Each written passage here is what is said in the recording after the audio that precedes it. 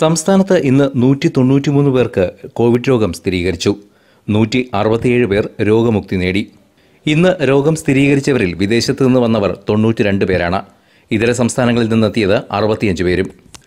സമ്പർക്കത്തിലൂടെ മുപ്പത്തിയഞ്ച് പേർക്ക് രോഗം സ്ഥിരീകരിച്ചതായും മുഖ്യമന്ത്രി അറിയിച്ചു. കഴിഞ്ഞ ഇരുപത്തിനാല് മണിക്കൂറിനിടെ ഒൻപതിനായിരത്തി തൊള്ളായിരത്തി ഇരുപത്തിയേഴ് സാമ്പിളുകളാണ് പരിശോധിച്ചത്. ഇതുവരെ അയ്യായിരത്തി അറുന്നൂറ്റി ഇരുപത്തിരണ്ട് പേർക്ക് രോഗം സ്ഥിരീകരിച്ചിട്ടുണ്ട്.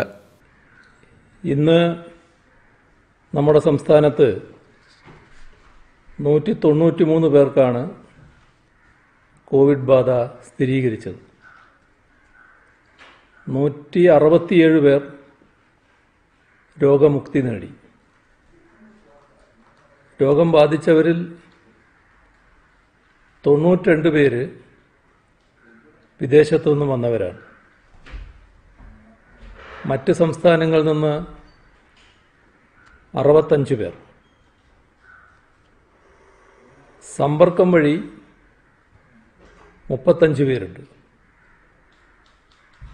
രണ്ട് മരണവും സംഭവിച്ചിട്ടുണ്ട്. മഞ്ചേരി മെഡിക്കൽ കോളേജിൽ എൺപത്തിരണ്ട് വയസ്സുള്ള മുഹമ്മദ് എറണാകുളം മെഡിക്കൽ കോളേജിൽ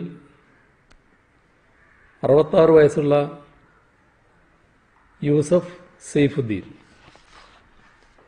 എന്നിവരാണ് മരണമടഞ്ഞത്.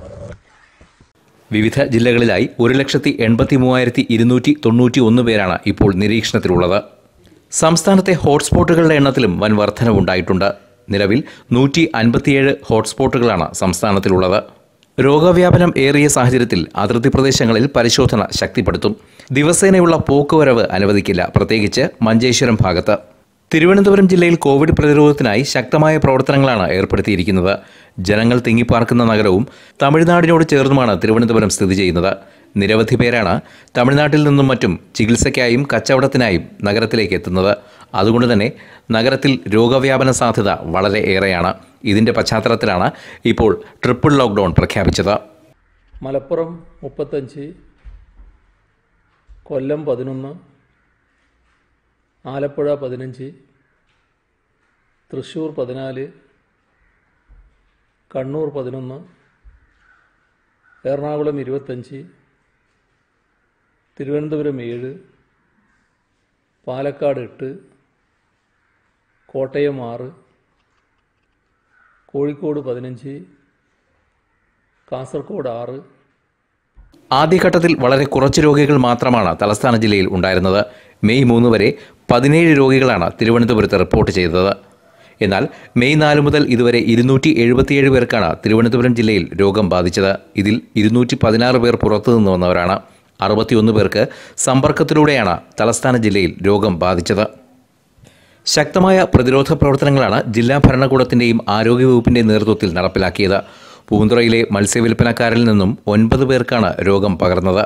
ട്രിപ്പിൾ ലോക്ക്ഡൌണിനോട് നഗരത്തിലെ ജനങ്ങൾ നല്ല രീതിയിലാണ് പ്രതികരിക്കുന്നതെന്നും മുഖ്യമന്ത്രി വ്യക്തമാക്കി.